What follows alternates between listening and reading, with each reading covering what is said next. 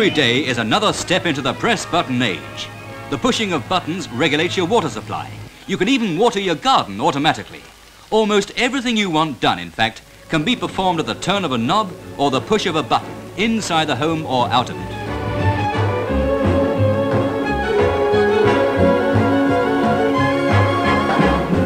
Whether it's an improvement on yesterday's iron or a pocket radio with valves the size of shirt buttons, almost everything we touch is another manifestation of the automatic era.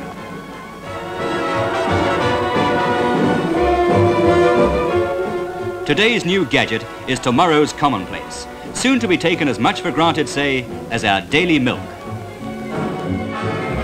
Milk is now another highly mechanized industry, operating at the touch of a switch, right through to its delivery to your door. As for the biscuit you take with your morning tea, now that really is a press button product. It starts its life in this huge automatic mixer, which signals when it's ready to make a fresh batch. And a mechanical brain sets to work piping the precise amount of every ingredient to the mixer. It's conveyed, rolled, cut into shapes, baked, coated, cooled, wrapped and weighed again, all automatically in a vast factory where machinery seems to have taken over from man almost entirely.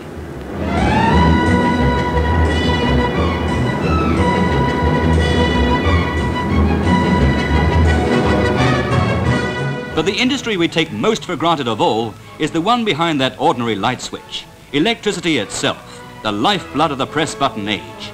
It feeds our automatic brains, works the projector showing this film, spreads light in our darkening streets.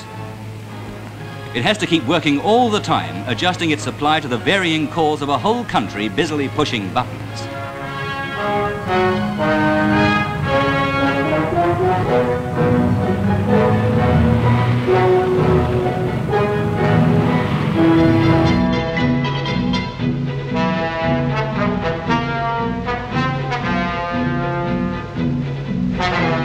Berkeley Nuclear Power Station on the banks of the River Severn is one of the world's first two generating stations to produce commercial power from nuclear energy. With its sister station Bradwell in Essex, Berkeley takes the everyday business of generating electricity into the strange, awesome world of atomic physics. Uranium rods do the job that coal or oil do in an ordinary power station. Here are the turbine generators, all perfectly conventional only the source of the heat is different. All the while, stringent precautions go on to protect the staff and to protect the reactor from the outside world. This sensitive giant, a sun imprisoned in steel and concrete. This man has the simplest and safest of jobs. He handles uranium in bulk, all perfectly harmless until the elements challenge each other deep down in the reactor and the broiling chain reaction starts. From the store to the fuel preparation room. Here is a uranium rod covered in magnesium. It's an inch thick, it's less than two feet long. It's the key to the miracle of the world we live in. And off it goes to the loading machine and so on its way to one of the station's two reactors. The rods can stay down in the reactor for up to three years, and all the time they are being steadily replaced. These rods are not just too hot to handle. That would be the understatement of the century. They are first to be plunged into a cooling bath called a pond, where they will languish for about three months, during which time they will be studied.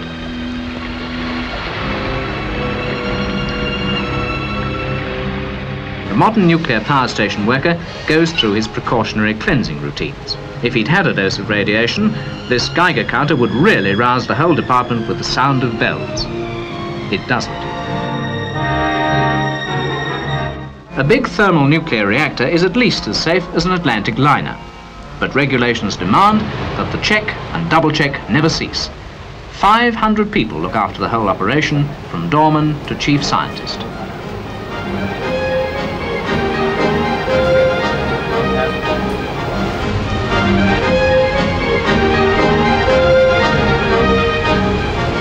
There is a great surge upwards in the demand for power.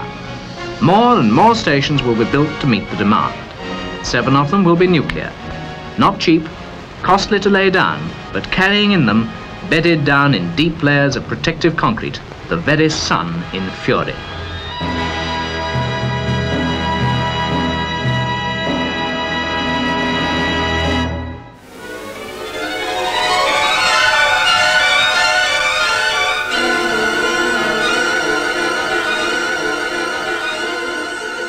Forces of law and order are continually devising new weapons. The watchman in this Bond Street store, armed only with a truncheon, may look no match for an armed bandit. But watch that switch. It operates radio waves that set off the shop's alarm system. Modern science is making life harder for lawbreakers of every description. That dome on the left sends out sound waves that cannot be heard. But if anyone interrupted them, they'd send out a signal. This projector puts out invisible rays that do the same thing if anyone crosses them.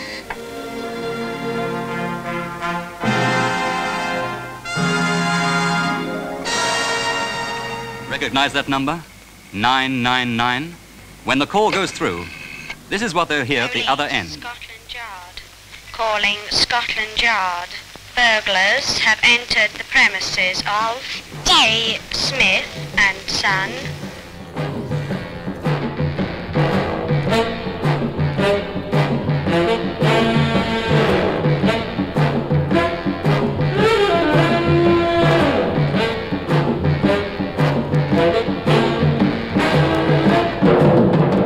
Lima 3 from 794. Can I have the assistance of traffic control at Kensington High Street junction with Old Church Street?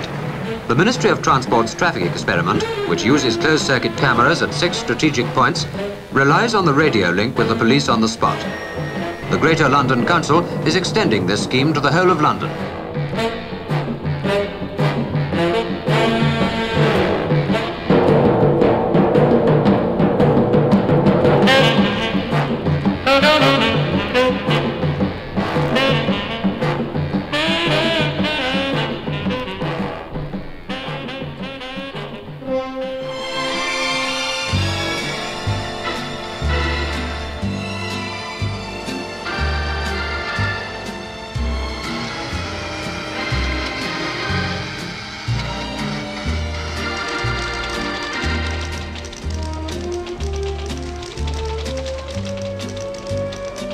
This is Ernie, the computer who selects the prize-winning premium savings bonds.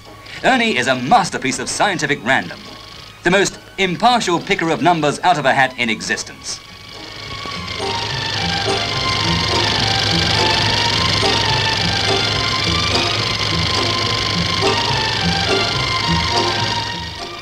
And if you have the luck to hear from Ernie, it's said to be quite an enjoyable experience. In this electronic age, computers are rapidly becoming man's best friend. To look at, they're about as exciting as filing cabinets. Inside, a jungle of circuits, along which ego-electric pulses can solve mathematical problems at the speed of light. Computer simply means reckoner. Since the beginning of time, nature's built-in computers have played a vital part in reckoning with life and solving its problems. This little animal has a problem. He wants a meal. His computer's answer? Over there, quick. Steady. Got it. From chameleon to car driver. What goes on in his computer? The experts would say that a steady visual feedback is being reviewed against the background of the driver's experience and reissued as adjustments to his performance. Are those people going to board that bus? Yes, so he brakes. Early in life, he meets his first supplementary computer, the simplest form of adding machine. But later, he may need something like this to enable him to work out the complex calculations in his job, some of which no human brain could tackle. You have to put information in before you can get any out, and it goes in in the form of figures and instructions. They're coded onto punched tape or punched cards, which are fed into what is called the memory unit. It can take hours, days, or even months, according to the size of the problem, to work out all the instructions to be fed into the computer.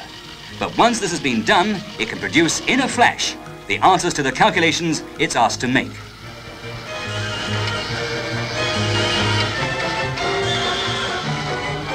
The skill and precision which go into building a computer explain its high cost. How much does it cost? Well, Manchester University has installed a British-made monster costing over £2 million. It's said to be the world's most advanced. It can take half a million instructions a second.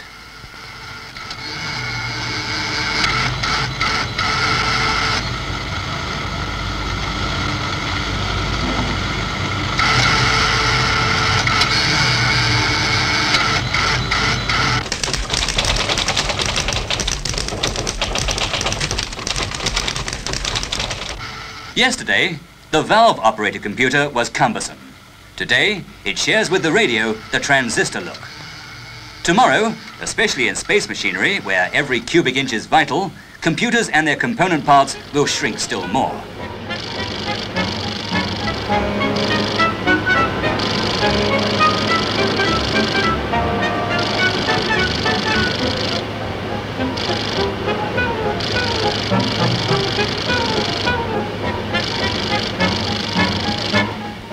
This shows the shrinking process of one particular component from man size to electronic jewelry. But that's almost big by comparison. For here are nine transistors mounted on a pin's head. This is a world where sizes can be compared with the thickness of a human hair.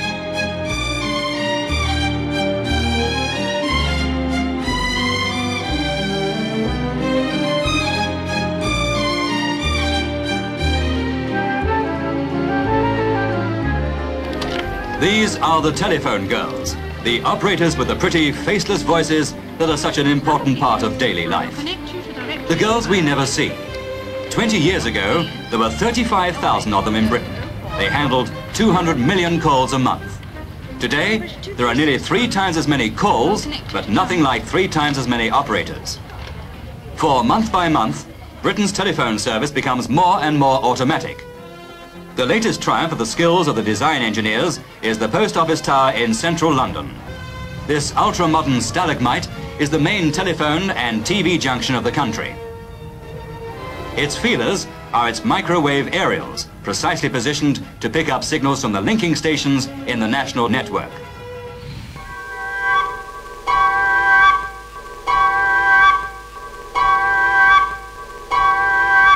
This 85-foot diameter dish aerial at Goonhilly Down near Land's End is the British end of the system by which television pictures can be sent across the Atlantic via the satellite Telstar. Information giving the exact position of the 170-pound satellite as it orbits the globe 500 to 2,000 miles high is fed into Goonhilly from the United States.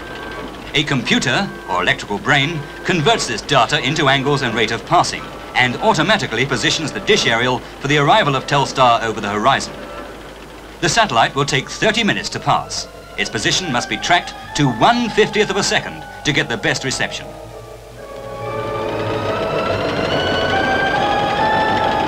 Zero second approaches when picture and sound come through simultaneously. The satellite has been picked up, slowly the aerial starts tracking it and the picture comes through.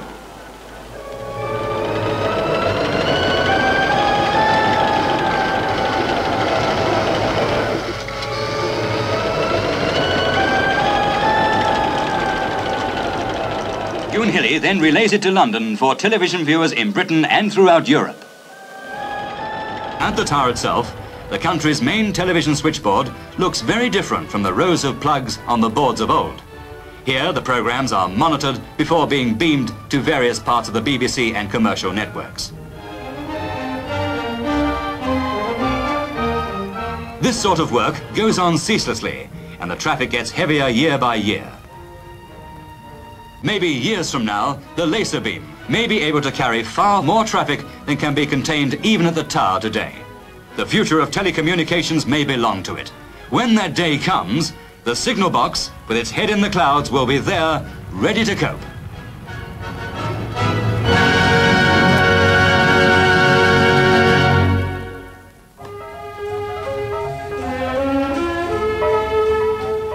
It's no longer a matter of eating out, but eating high. And for background, a constantly shifting view of London and its surrounding counties. Here you satisfy your appetite 520 feet high, with a pigeon's eye view of the capital that's a revelation even to Londoners who thought they knew their own city.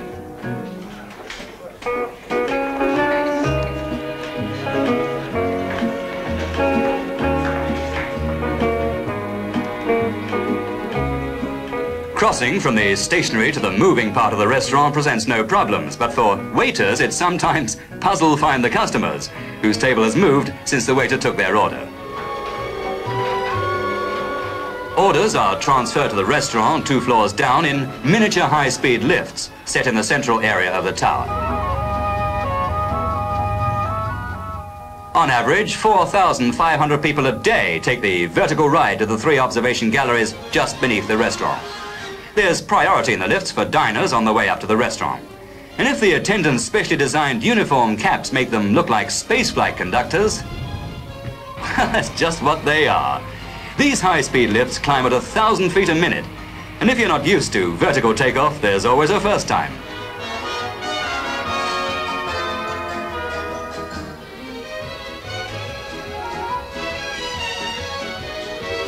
Up here in this world of panorama, the clear view depends as much on these men as on the weather.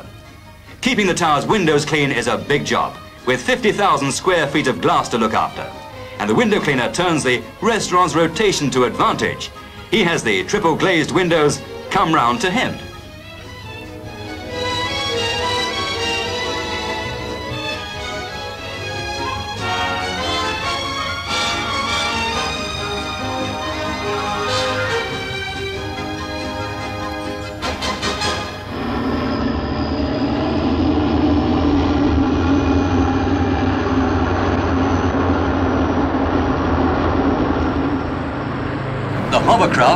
Shook the world when it made its first public appearance.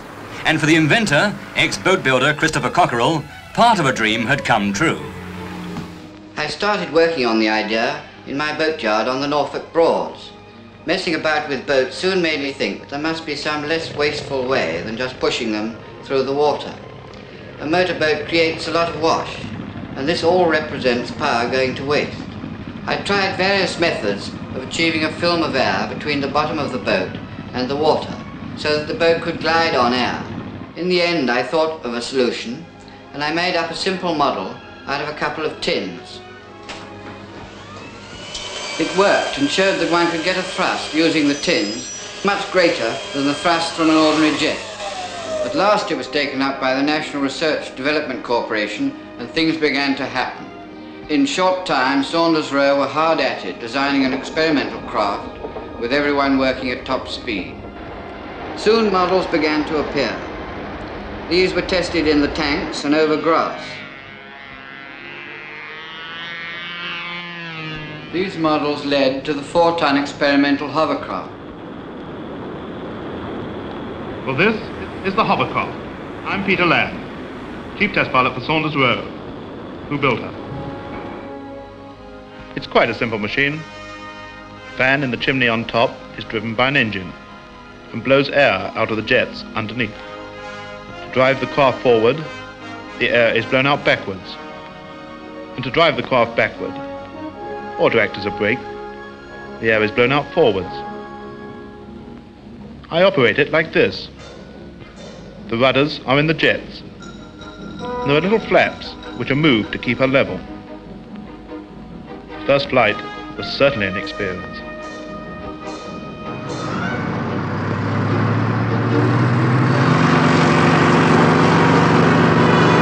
A crowd of press photographers came along to watch. They didn't know what to expect at first, but they soon got used to the idea of four tons of ironmongery floating on air. We went the whole hog that day, and later tried her in the water for the first time. Would she rise?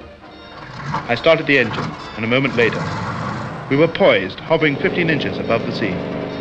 At first, I couldn't see much from the cockpit, but underway, vision improved. Since our first test, I have been putting the hovercraft through her paces almost every day.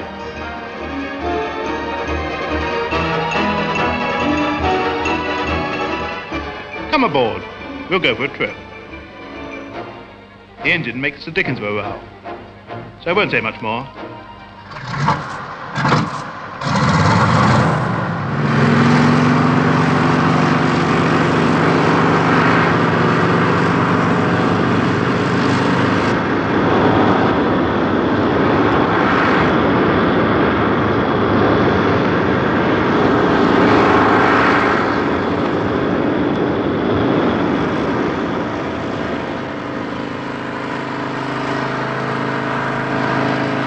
To us, is sure to come, but you mustn't think it will all come in a minute.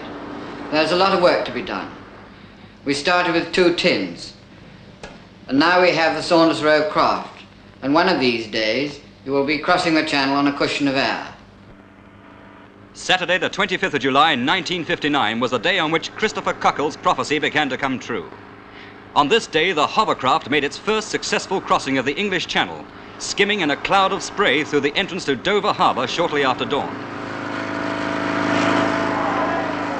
Holidaymakers had got up early to welcome the arrival. Here was a channel crossing that had made history and perhaps opened the way to a new form of travel.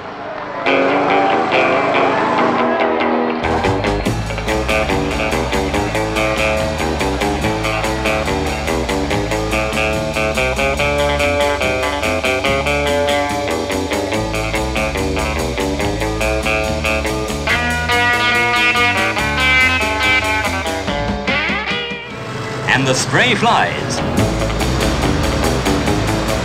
At 70 miles an hour, VA3 rides three feet clear of the water, like a low-flying aeroplane. But compared with an aeroplane of the same weight, the hovercraft needs only one quarter of the power for the same speed. Ideal for sea trips up to 100 miles, the larger hovercraft of today would make excellent long-distance ferries. Passenger fares would work out at about threepence a mile, the same as a bus.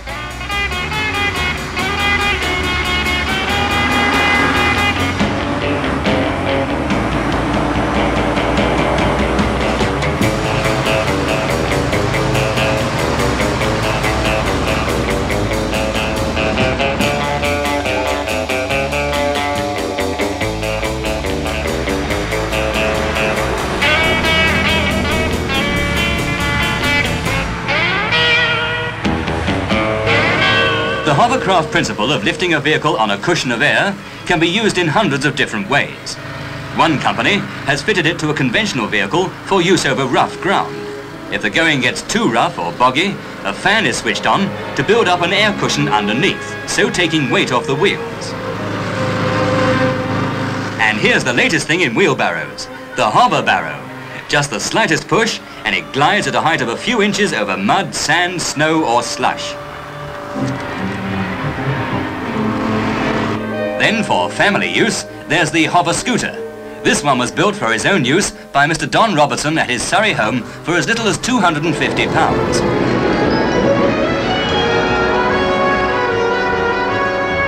If you feel like piloting a hovercraft yourself, you can always join the fast-growing amateur hovercraft movement, one of the enthusiasts of which is Lord Brassey.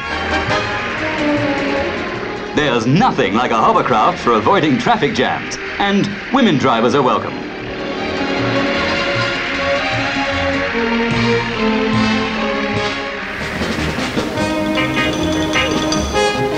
Looking ahead to the future, we can expect to find hover rail trains like this, linking city centres to airports.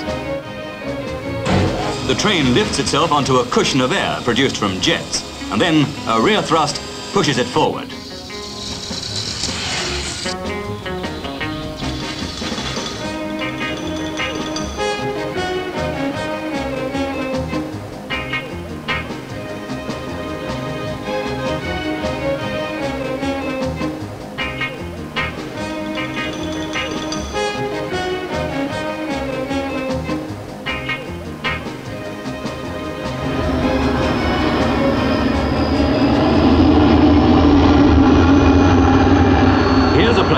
Do what no aircraft has ever been able to do before.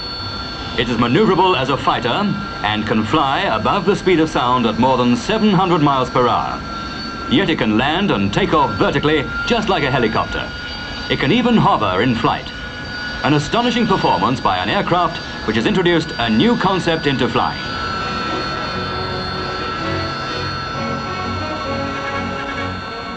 It's called the Kestrel, after the bird that can hover for minutes before swooping to attack its prey. This all-British plane is so revolutionary that a special international squadron was formed to assess its capabilities. While hovering, the Kestrel can turn in any direction and even go backwards, and yet it can climb faster than the modern jet fighter.